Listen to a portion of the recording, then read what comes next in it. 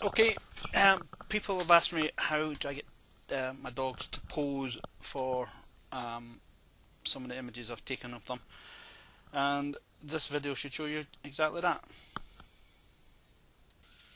So there you have a 10 second clip on how to pose your dog.